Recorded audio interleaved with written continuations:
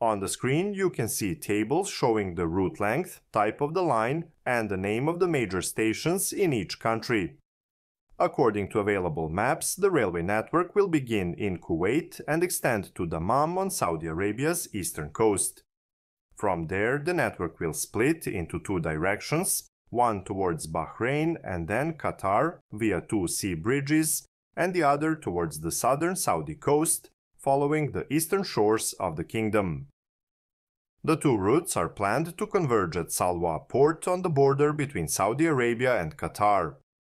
From there, the network continues southward along the United Arab Emirates coast, reaching Abu Dhabi, then extending southward into the desert towards Al Ain on the United Arab Emirates Oman border, and further on to Sohar and Muscat on the Gulf of Oman's shores.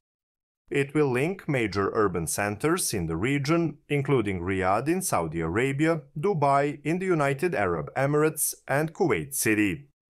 The entire route will span 2,117 kilometers, facilitating the transportation of goods and passengers from Kuwait in the north to Muscat in the south.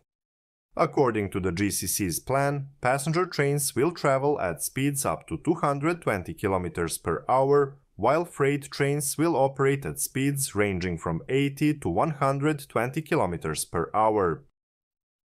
Once the network is operational, the GCC Railway Authority will coordinate passenger and freight transportation schedules.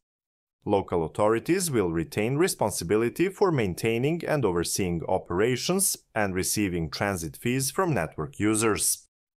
But the deal does not restrict any country from outsourcing this sector through public private partnership or even full privatization.